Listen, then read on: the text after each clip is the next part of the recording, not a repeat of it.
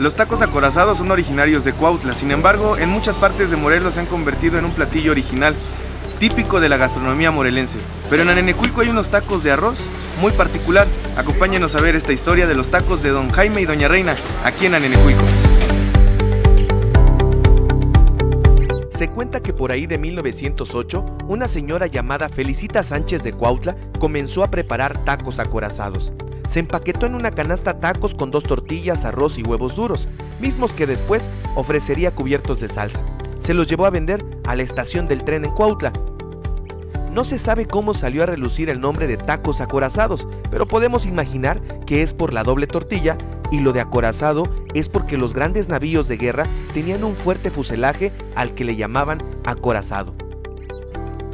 Aquí en Anenecuilco, estos deliciosos tacos de arroz de Doña Reina y Don Jaime iniciaron en 1997, en la primaria Emiliano Zapata y después en el antiguo parque. A lo largo del tiempo han cambiado de lugar, pero siempre en la avenida Independencia. No hay pierde.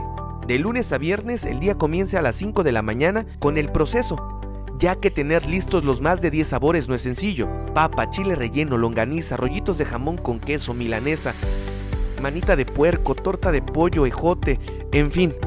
De verdad que hay mucho para escoger. La idea de vender surgió de doña Reina Genis, como nos cuenta don Jaime. Empezamos a vender los tacos.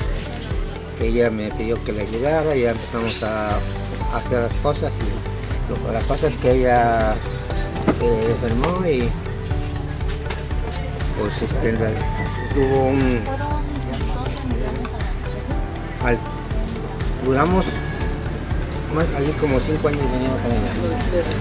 En ese periodo de esos cinco años se enfermó y, este, pues falleció pues, este, a ver motivos de la vida y pues, de... Estos tacos deben ser acompañados por unas exquisitas rajas y una buena ensalada de pepinos con rábanos y de tomar agua fresca, que depende el día, pero te puede tocar de mango, guayaba, melón, piña o jamaica. Hoy en día, el negocio es atendido por Carmen Pérez e Irene Ambris, siempre dispuestas a preparar los tacos de tu antojo. Los que somos de Anenecuilco sabemos de lo que presumimos. Sin duda, Ayala está lleno de colores y sabores. Con imágenes de Saúl Flores Hernández, soy Pablo Antonio Molina Mora. Esto es Ayala de mis amores.